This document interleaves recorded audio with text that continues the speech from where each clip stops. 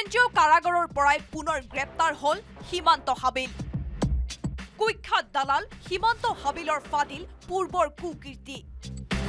ভূমিৰ নামজাৰি কেলেংকাৰীৰ নায়ক সীমান্ত চৌধুৰী হাবিল আহমেদ।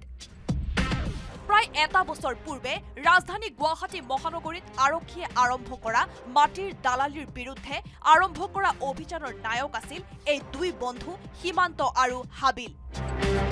শেহতীয়াকৈ এই ভয়ংকৰ তথ্য পোহৰলৈ আহিছে পাণবজাৰৰ ক্ৰাইম ব্ৰাঞ্চৰ চাইবাৰ চেলৰ এক অনুসন্ধানত। তেৰ দুহেজাৰ তেইছ নম্বৰৰ গোচৰত কাৰাগাৰৰ ভিতৰতে গ্ৰেপ্তাৰ হল দুয়ো।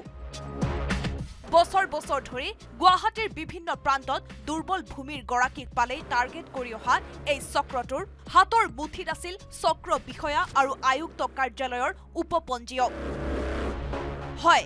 গুৱাহাটী আজাৰা আৰু দিছপুৰ বিষয়াৰ কাৰ্যালয়ৰ শীৰ্ষ বিষয়াক মেনেজ কৰি ভুৱা নামজাৰি জালিয়াতিৰে নথি পত্ৰ প্ৰস্তুত কৰা চক্ৰটোৱে টকাৰে কিনি পেলাইছিল লাট মণ্ডল আৰক্ষী অধিবক্তা চতুৰ্থ বৰ্গৰ কৰ্মচাৰী।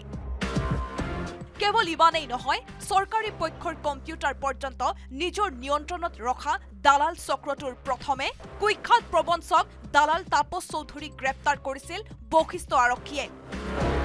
তাৰ পিছত মহানগৰ আৰক্ষীয়ে পতা জালখনত পৰিছিল এটাৰ পিছত আনটো দালাল।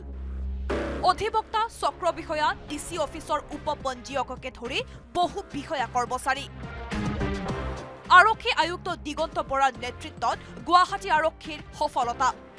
এজন এজনকৈ পঞ্চাছৰো অধিক গ্ৰেপ্তাৰ হল ভূমি কেলেংকাৰীৰে জড়িত অভিযুক্ত।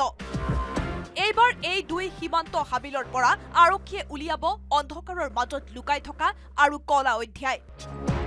দীৰ্ঘদিনে পলাই থকা সৌ সিদিনা সীমান্ত চৌধুৰী হাবিল আহমেদক গ্ৰেপ্তাৰ কৰিছিল হাতীগাঁও আৰক্ষীয়ে।